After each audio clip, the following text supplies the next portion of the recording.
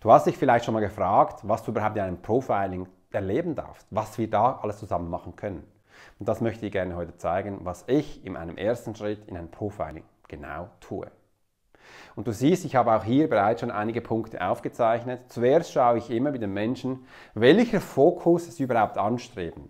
Fokus kann man sehr stark damit auch verstehen, die Idee, die Vision, die du hast, also deine Ziele. Aber um das geht es hier gar nicht. Weil dieser Fokus, der ist intrinsisch in dir drin, also im Unterbewusstsein. Ja, du hast richtig gehört. Wir haben in unserem Unterbewusstsein genauesten Fokus gelegt, was dich ausmacht.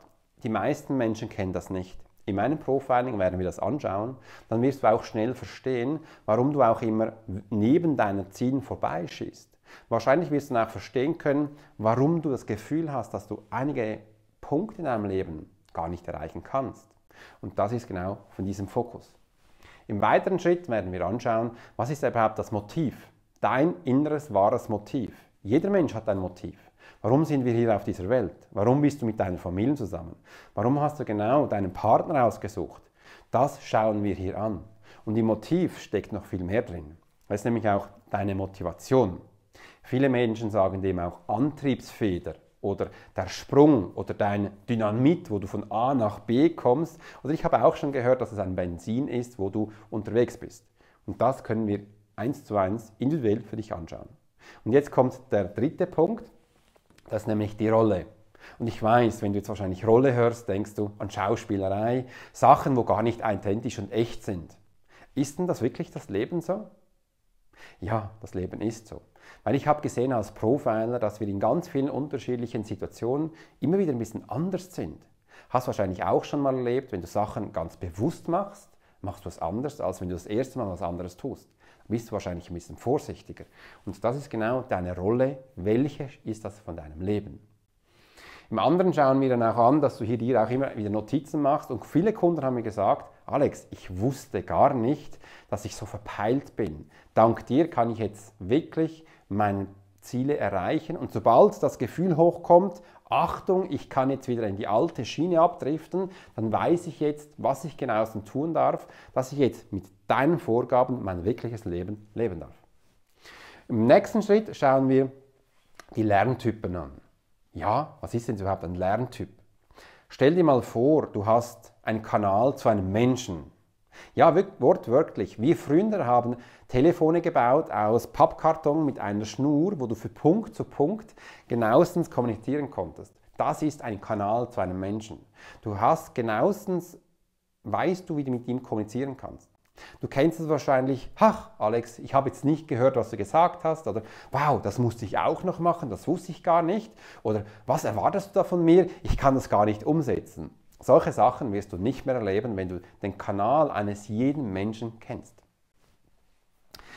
Im Weiteren werden wir hier die Aktionstypen anschauen. Aktionstypen ist auch schon, wie das Wort sagt, wir sind hier in einer Aktion drin. Also wir sind mitten im Leben, in der Gegenwart oder in der Vergangenheit oder sind auch schon auf unser Fokus ausgerichtet, auf das Ziel und sind hier in Aktion. Was passiert jetzt, wenn wir von Druck von außen bekommen? Wie funktionierst du? Oder wie funktionierst du, wenn du selbst in dir Druck aufbaust, mit deinen hohen Zielen, wo du vielleicht weißt, das kannst du gar nicht erschaffen, das ist viel zu weit weg. Was passiert da? Viele Menschen werden dann viel von sich selbst zerdrückt und können fast nicht mehr reagieren. Oder laufen immer davon, sind dann plötzlich unpünktlich und sie zeigen ein Gesicht, was sie früher gar nicht haben. Oder gibt es auch Menschen, die plötzlich sagen, ja, ich bin bei dir, ich setze mit dir um und mache alles, was du willst. Das sind unterschiedliche Aktionstypen, wo Menschen zeigen. Und jetzt siehst du auch schon, das Profiling ist sehr stark auf Situationen aufgebaut, weil die Menschen in jeder Situation anders reagieren. Auch wenn wir das Gefühl haben, wir sind immer gleich. Das ist eine Illusion, das sind wir schon gar nicht. Und jetzt geht es zum wichtigsten Punkt, das System. Ja, Menschen sind systemisch aufgebaut. Wenn du jetzt denkst, du bist ein Roboter oder äh, du bist nur noch mit äh, wie so ein äh, Duracell-Häschen unterwegs, nein, das stimmt nicht. Aber du kennst wahrscheinlich auch deine Gewohnheiten. Die sind in uns drin. Gewohnheiten sind Systeme. Und hast du jetzt gute Gewohnheiten oder hast du schlechte Gewohnheiten? Und ich weiß, jetzt denkst du wahrscheinlich gleich an deine schlechten Gewohnheiten, wo du gemerkt hast, da hast du versagt. Und eigentlich möchten wir nicht an diese Gewohnheiten, wo für uns schlecht sind, erinnert werden, sondern leben, lieben Situationen hinterher, wo wir merken, da können wir wirklich gute Systeme abrufen. Wie läuft denn jetzt das? Ich gebe dir ein Beispiel. Du willst abnehmen und gehst in die Küche, um dir einen Tee oder einen Kaffee zu machen oder einfach ein Glas Wasser zu holen und greifst einfach in eine Keksdose rein und isst es fein luftig und denkst, nein, ich wollte doch abnehmen, aber warum habe ich jetzt das gegessen? Genau, weil du bis jetzt eine schlechte Gewohnheit hast. Du weißt nicht, wie Systeme funktionieren und wie du es für dich besser umsetzen kannst.